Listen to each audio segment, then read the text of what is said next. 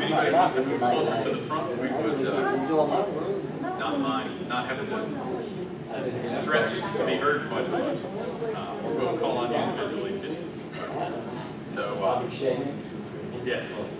Just continue. Uh, So I'm Mark Johnson from MCNC.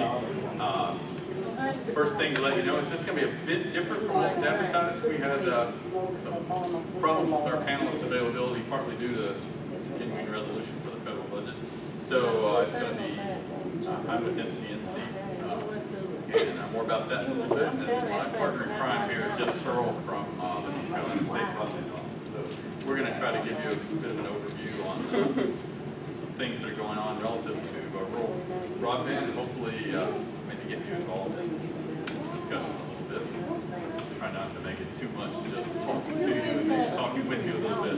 So gonna let kind of set the stage a little bit. uh, Ladies.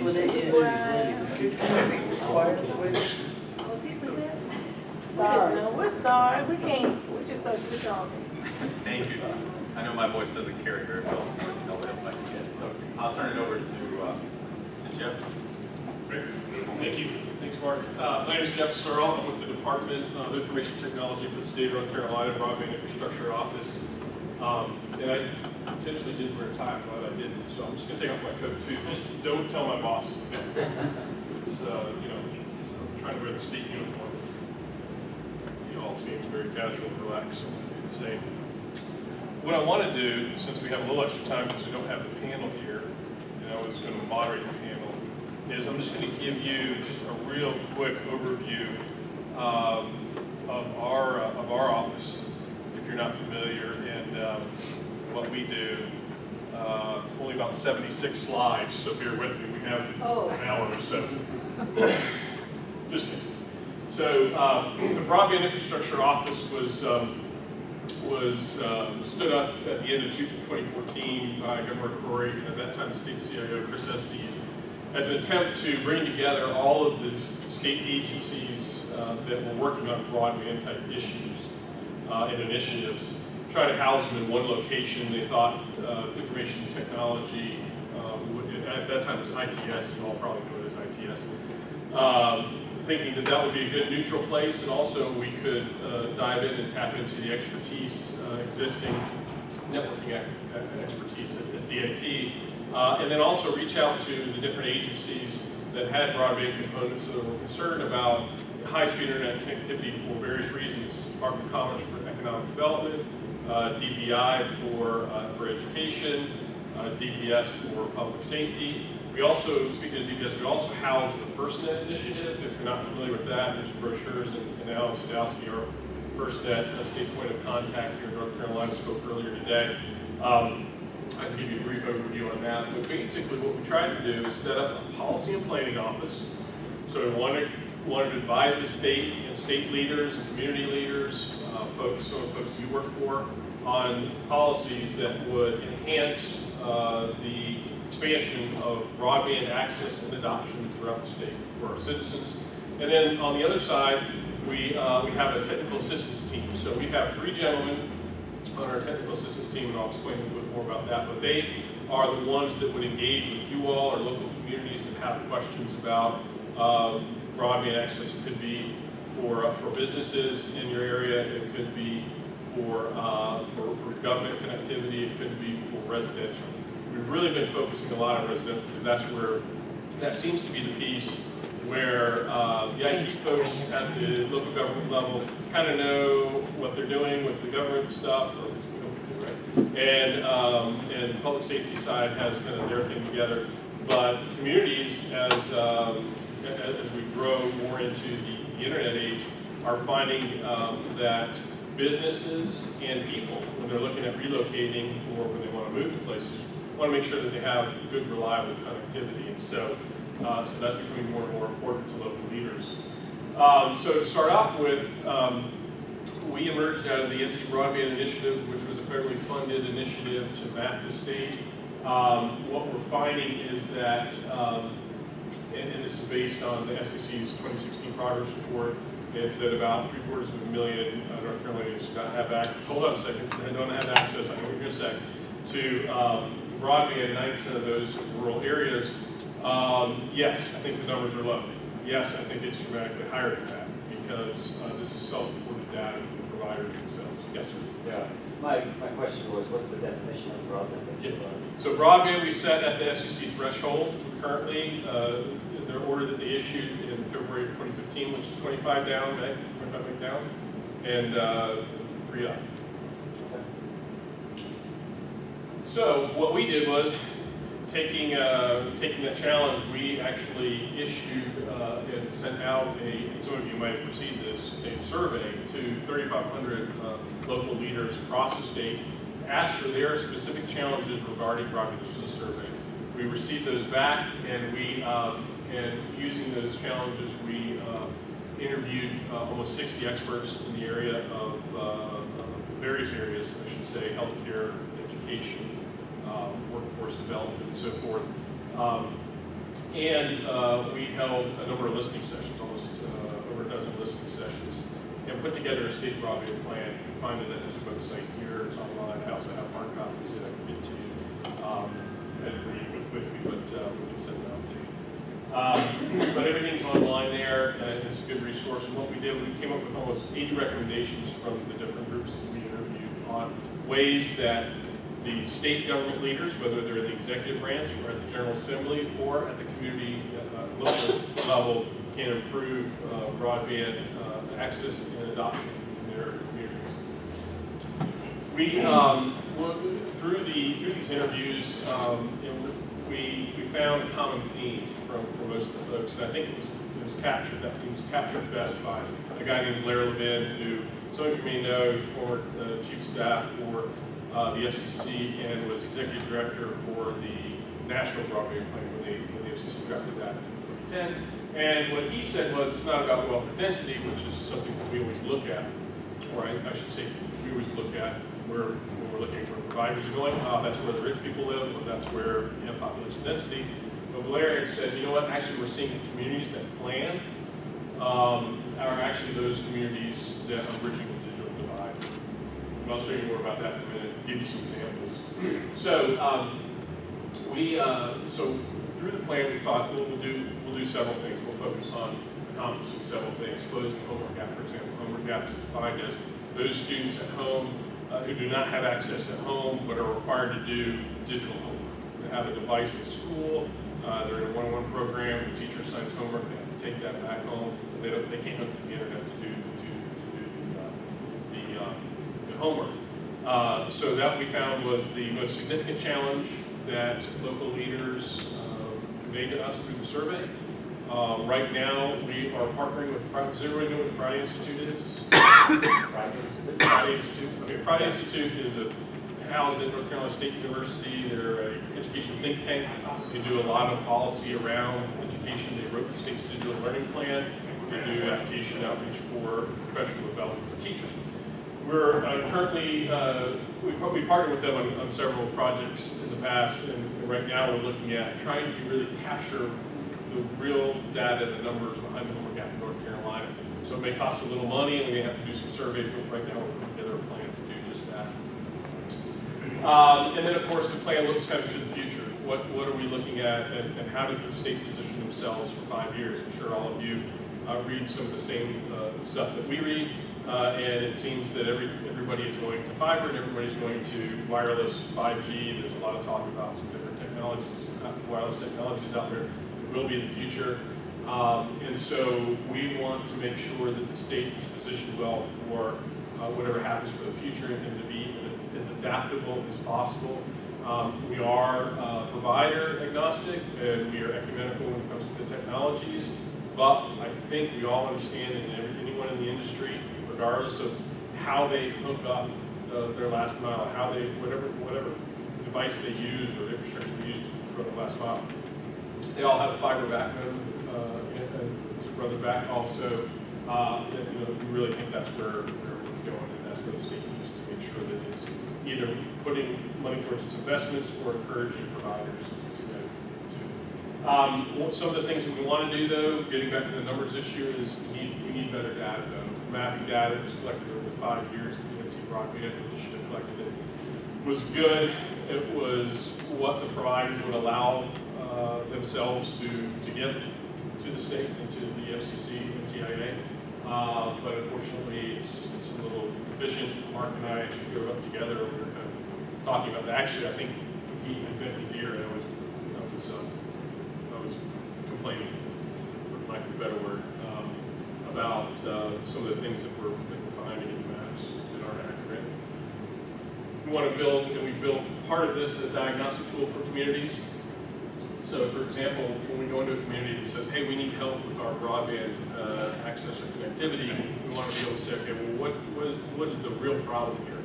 Um, right now, uh, according to provider data, North Carolina um, has over 90% access rate at 25 megs down, but only a 16% adoption rate. One of the lowest adopting states. We just don't have folks subscribing with that higher, higher threshold. So, um, so one of the things we want to do is, is look at not only that and the access and what uh, infrastructure's out there, but also how many providers are in a particular area.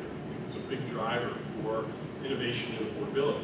If you only have one provider, uh, we're finding less of a likelihood that they're going to upgrade their infrastructure of the network to next gen, less uh, of a chance that they're going to uh, have a, um, you know, a lower price. I was, uh, just before I came here this morning, I was looking around, poking around online in a few places and a few providers, and it was kind of interesting to see the different prices across the um, state for different providers. And I noticed that, you know, those areas where you have one, and they may have good service, but for example, uh, I noticed out where my in-laws live in Hendersonville, they would pay, um, they would pay, I think, over a hundred dollars for maybe fifty megs an hour.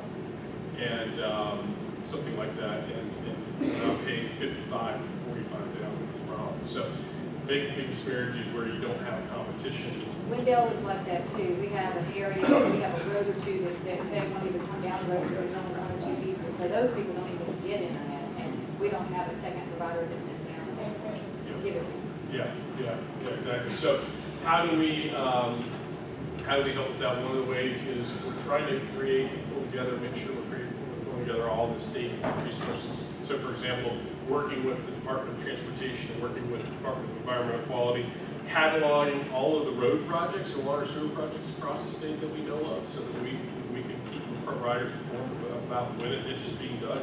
So in your situation, if, if they're doing a road widening project or they're doing something out there where they're digging a ditch or someone can gain access to poles a little easier, let them know that so that it might be uh, a, a cost uh, that the state bears because they're the ones digging the ditch. Are you guys doing like a dig once policy, or you We, we recommended the dig once policy in our plan, you'll see, it's one of the first recommendations, I think, Okay. in our plan. Um, uh, As you have probably seen around the country, those localities that are promoting dig once have run into a little bit of legal trouble here and there. Um, The federal uh, government has a dig once policy, DOT has one that they promote, Uh, the Federal Highway Administration has policy papers out on it, which I've happily, uh, happily um, relayed to our DOT that wasn't aware of them. And, um, and so, you know, there's a lot of state and federal government tension at times. Um, So one of the things we've tried to do is be an educator in that regard with our federal, with our, our colleague agencies. Uh, But what we'd like to see is when we've had um, recent success in this in Asheville, um, you know, DOT is divided up into regions. And and so some of those district engineers kind of are the, you know, the king of the castle. They're, you know, they, they don't uh, have much regard for what's coming out of Raleigh sometimes. Um, And, uh, but in our case, in Asheville, we were able to engage with DOT up there. And um, uh, I'm not sure if you, you all know Hunter Goosmann in the ERC, but he wanted to run under the parkway, the Blue Ridge Parkway over there, uh, where they were doing a sidewalk project. Uh, If you all know anything about building networks, that's incredibly difficult to do. Took years just for our DOT to get uh, permits and and everything to go under the parkway. Uh, But uh, with that open, with that trench open, with the boring under there, uh, we were able to work out between the city and DOT for, to in at his own expense, uh, and, and and blow his conduit, blow his fiber through there. So that was, a- that was a good news. It's small, but it was, but it was the first step. Uh, The next one is Farm, where uh, you'll see later, I'll use it as an example. They were doing a huge water sewer project, um, and they just put out a notice in their local press. We promoted it also on our social media and through some of our um, uh, newsletters uh, to, to the providers, hey, we're digging the ditch, jump in. um, you know.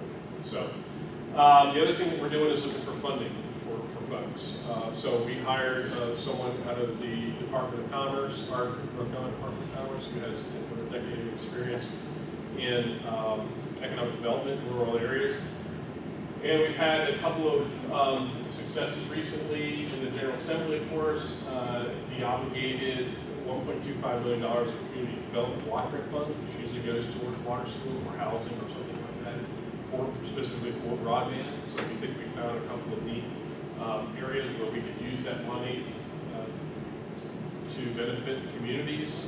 It's very difficult because this hasn't been done before. It hasn't been done before in- anywhere in the U.S except in Virginia, uh, and they were very specific types of projects. So uh, we've talked to the state of Virginia, we've had numerous phone calls with Washington and uh, Housing and Urban Development, which uh, runs the community development, community development block grant program. They're very excited about some of the things we're talking about doing. Um, and uh, I think everyone is excited at the state level, but you know, you have the technocrats who are like, no, the rules are this, you can't do this. And so yeah, but Washington says it, so it goes on and on, but if we can break through uh, that wall, that will be a new source we may be able to use in the future. Appalachian Region Commission, we just uh, partnered with them to award 10 small communities uh, money for uh, Wi-Fi, Wi-Fi uh, in their downtowns, so that they can promote that. Um, And uh, that was good. good news. define small, I think, I think we tried to keep it to like around 5,000 people, 75. I think the, the biggest one was 7,500. The smallest one was, was uh, I think was under a 1,000. Um, So, uh, so the other thing we want to make sure we're doing is that we're, uh, we're educating folks and, um, and working with some of our, our other agencies, ARC and some other folks, trying to get good news stories out with partnerships. We don't have any money, we don't have any regulatory authority, so it's just charm and friendships. So I'd like people to have votes, you know, you want a friend with a vote. We don't have grants, so we make fast friends with those people that do have a lot of money. Um, so, uh, getting back to our technical assistance team, this may be most useful for you all.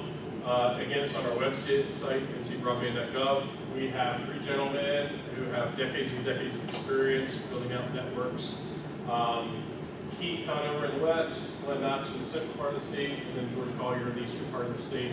And they are a local community resource. Uh, Keith lives in Asheville, Glenn lives in Stokes County, and George lives in Raleigh. And uh, they take, they each have around 31 counties, and uh, they work directly with the folks in those counties.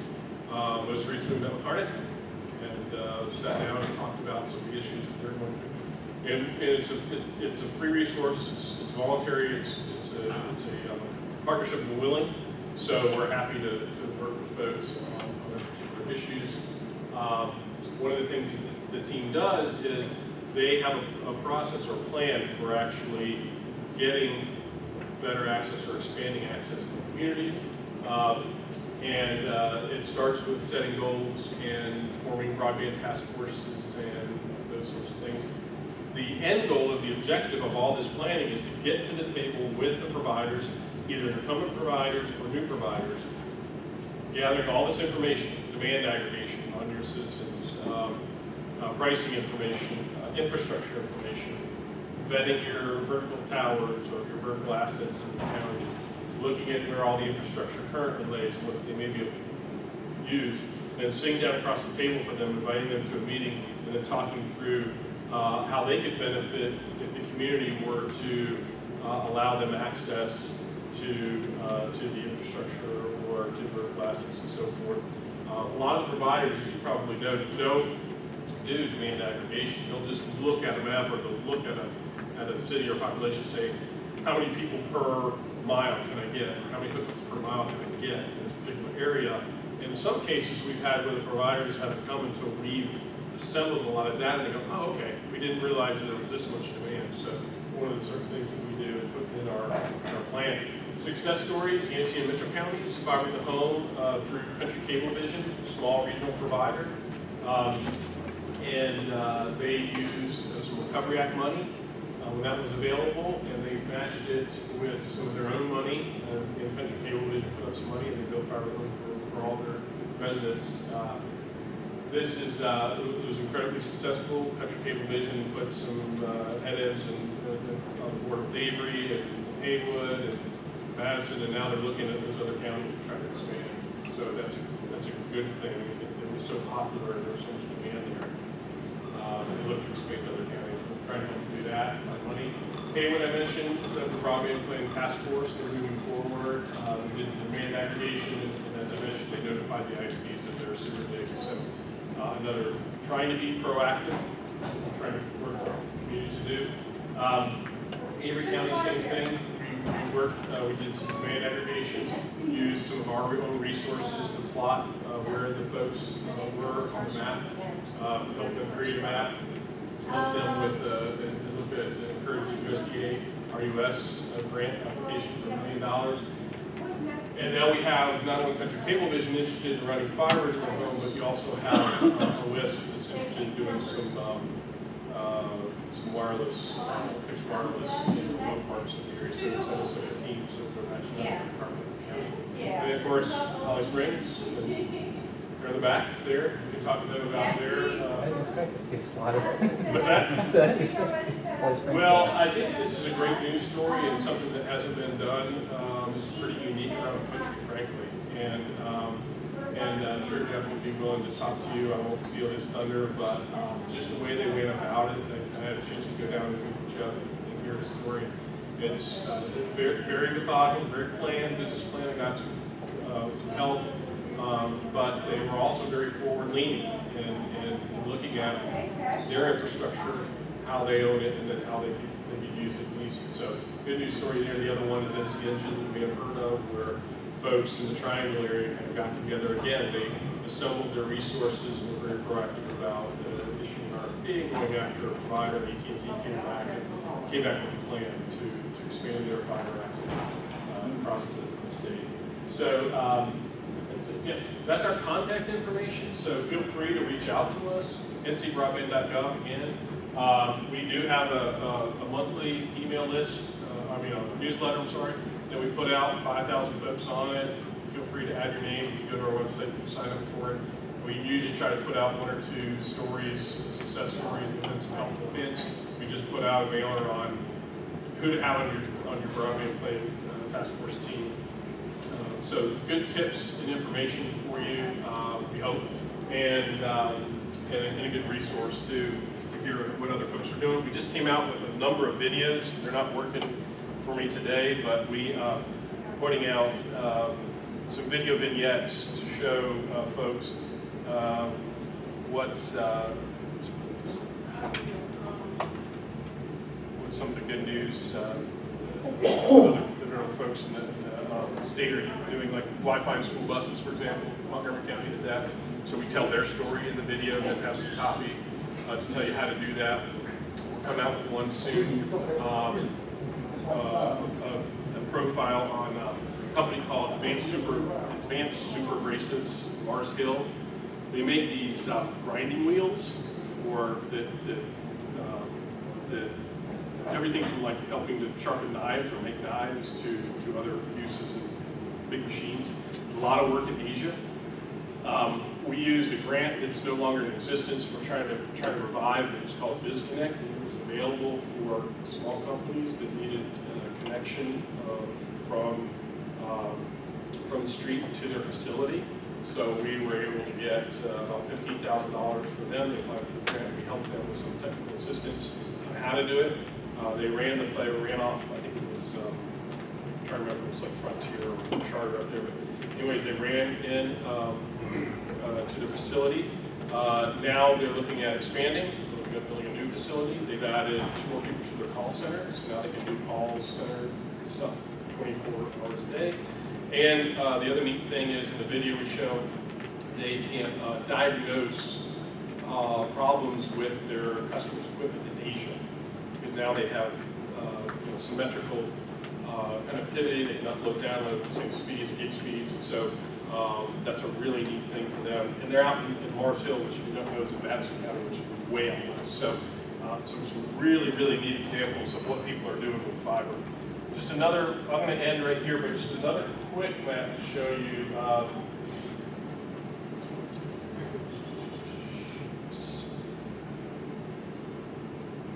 We, we, um, like I said, I'm a little frustrated with the data that's available for mapping. But, um, what we try to do is do the best we can with the data that we're getting, and then, um, and, and then improve upon it. So we'll have, we currently have a place where you can check your availability on our website. We're, we're currently updating that with our mapping folks. We're looking at a, a, uh, an online application that's actually a better interface for users for the map. Put in your address, and it'll show you what infrastructure is available, who the providers are, and so forth. That's available, it's a little clunky on it now. One of the places we want to get to is where we can use software uh, that was, that was created, um, where you can go in and say, hey, that's not right. So, hey, that, those numbers aren't right, or that map shows that I have service, but we don't have service in this census block. So you can type in your information and uh, take a speed test, uh, and we'll automatically get the data. And that will allow us to manually update this map. So I hope over time, with us promoting the map and this uh, resource, that we'll be able to carve out and be a little bit more specific uh, in, in, in what we have in our maps. Is this, is that going to enhance broadband of that? Yeah, yeah. And so, one of the things I wanted to show you though was uh, expansion. So one of the things we're seeing though that's kind of neat is fiber to the curb uh, coverage. If you look at the blue section, you can see it. I know it's a little uh, washed out in the light. What's that? So if you look at the blue areas here, fiber to the curb, all of those right here um, are uh, telephone co-ops. Here, down here, here. Um, This is Drake. Uh, This right here in around Guilford County is our state. Um, And so what, what I think is interesting, and then this is Wilkes and River Street, what I think is really interesting about this is that if you look, the concentration of fiber to curb that we have currently in the state is in more rural areas because the telephone co-ops took the initiative and some federal money and built, built out their networks. The regional companies like North State, which is based in North Carolina, uh, we haven't filled in Yancey and, and uh, Mitchell yet, but Country Cable Vision, regional, a local, local company. Um, I think that's very, very telling. What it tells me is that the folks whose decisions are being made in Dallas or St. Louis or New York aren't building fiber to the home as quickly as those who have a, have roots in North Carolina. The other interesting thing is we are seeing, uh, the red shows you where we've expanded fiber uh, coverage in 2015. Uh, Of course, most of that is in Mecklenburg and counties, a little bit in Guilford and Forsyth. And then the yellow shows you where they, where there was already fiber coverage, but they've increased the speeds. So again, you're seeing some areas down here uh, where some providers are starting increasing up the speeds. Country Cable Vision, when FCC came out with the order to, the threshold went from 10 down to 25 down, that's the definition of broadband. They just tuned up, turned everybody up one, one day. So, um, so I think that is a, is a neat story, and I think when we're looking at our communities and we're looking at how do we expand fiber infrastructure through the state, if you're not living in, in, in, in Wake, uh, Durham, or uh, Mecklenburg counties, uh, it's probably going to be through somebody local or co-op.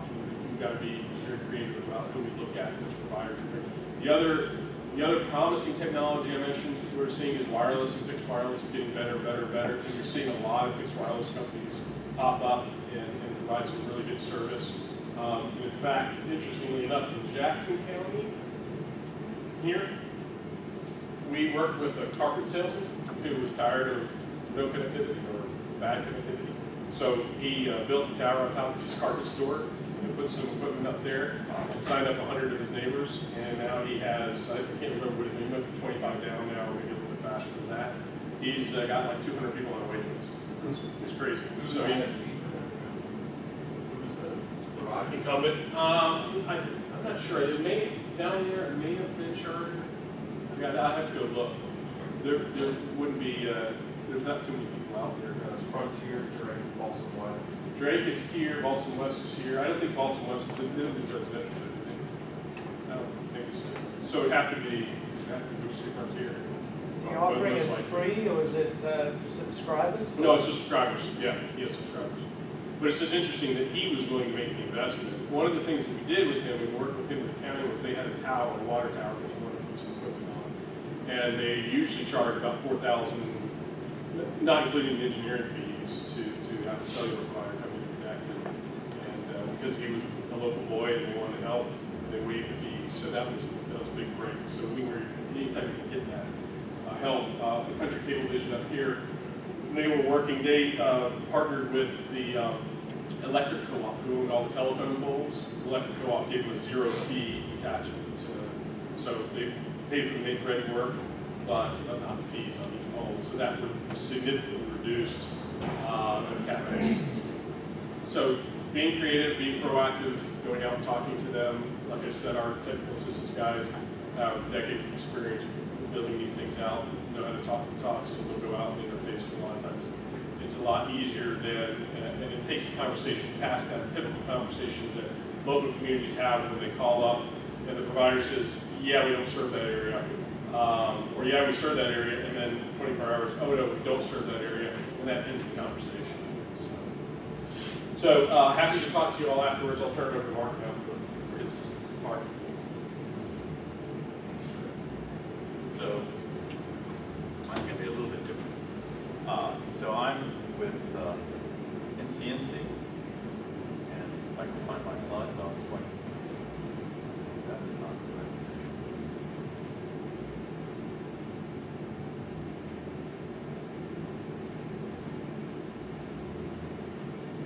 Alright, So, uh, I'm the, uh, chief strategist for MCNC. For those of you that don't know us, MCNC is a uh, 501c3 not-for-profit. Uh, We've been around in the state for quite a long time. We started life as the Microelectronics Center of North Carolina.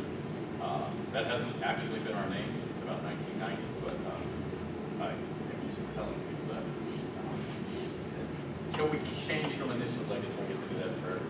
So we were created by the North Carolina General Assembly to help attract the microelectronics industry to research department.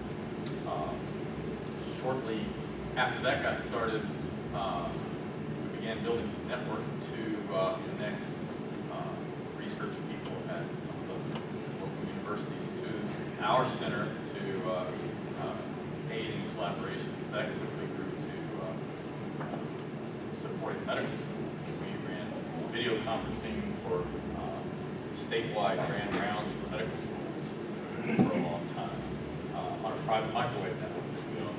Um, But the uh, network, the North Carolina Supercomputing Center was housed in the same corporate shell uh, during its entire existence from about 1990 to the, to the late 90s.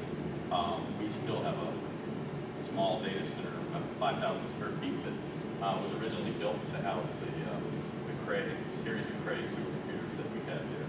The state eventually determined that uh,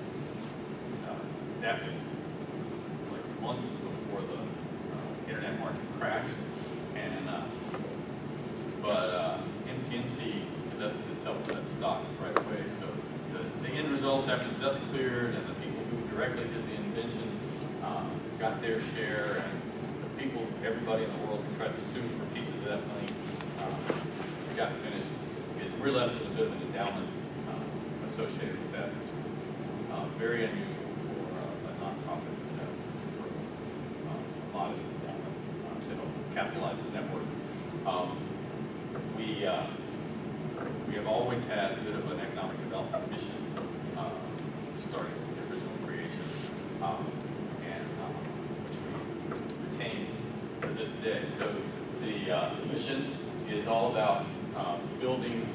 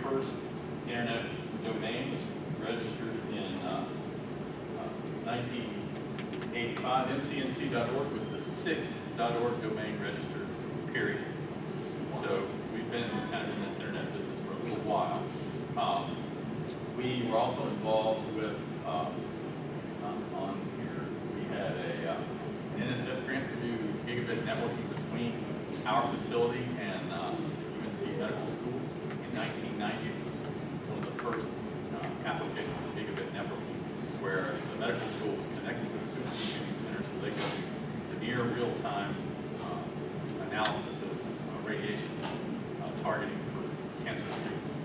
Uh, so that was back in 1993. Had a bit of experience in sort of the development of the internet and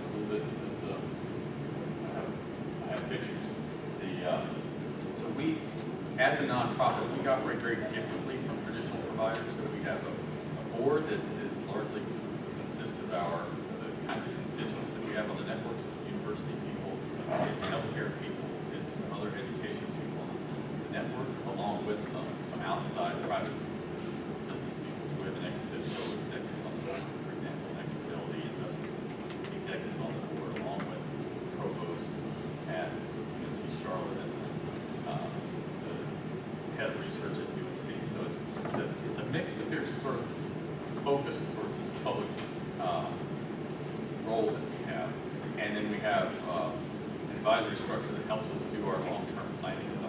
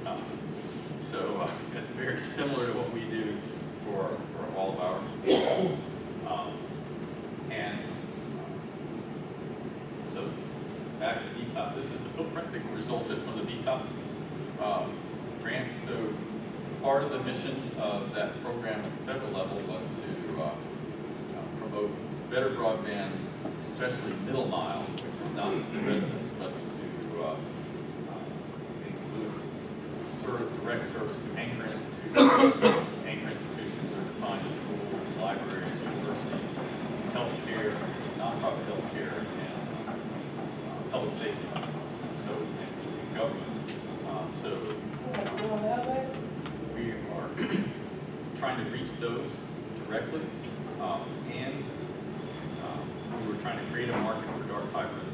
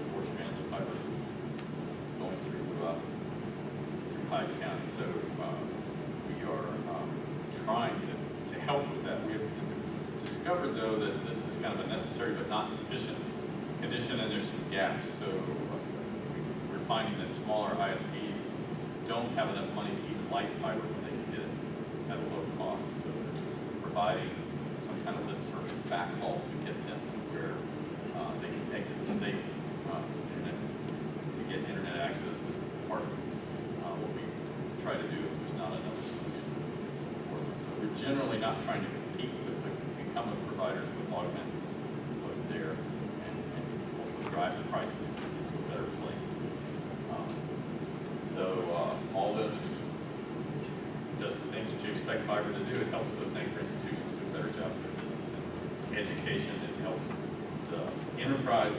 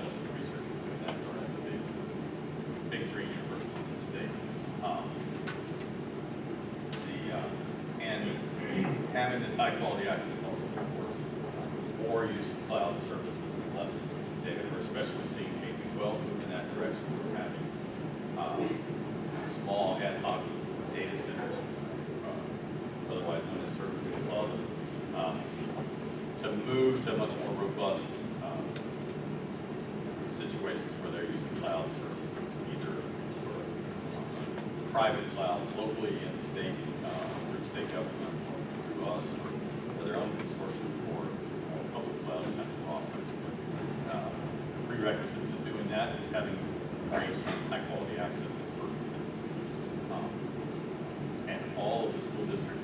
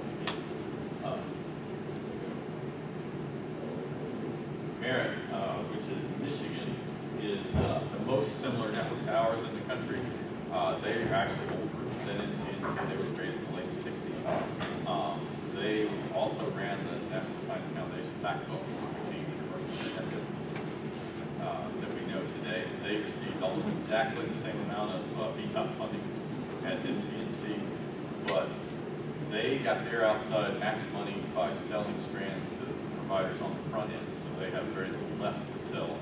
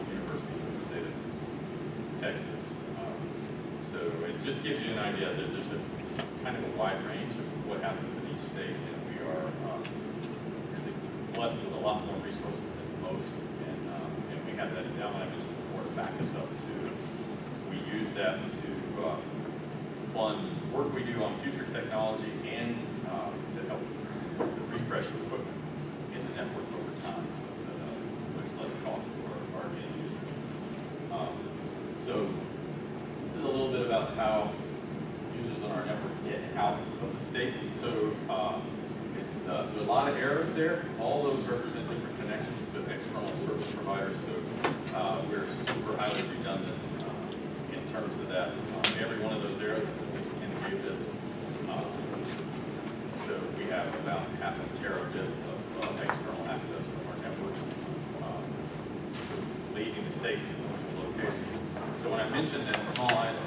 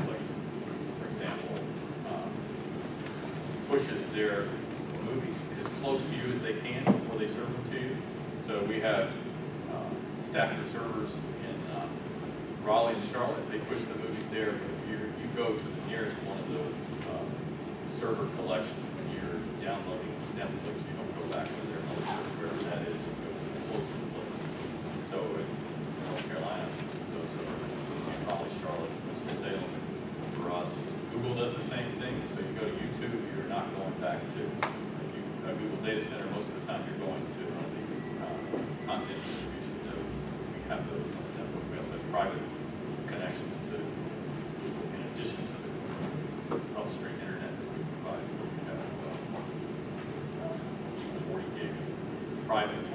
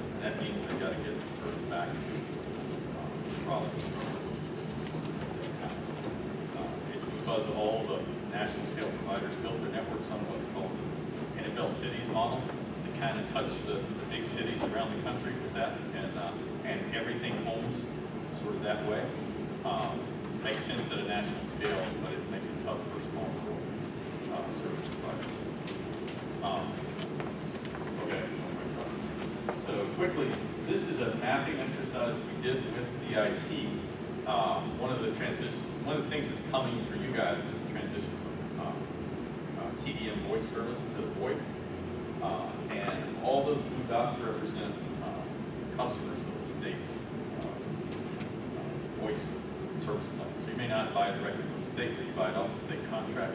All those are TDM customers, that we start looking at how do we get better broadband to all those uh, municipalities that are buying off that contract so that they can be ready for that.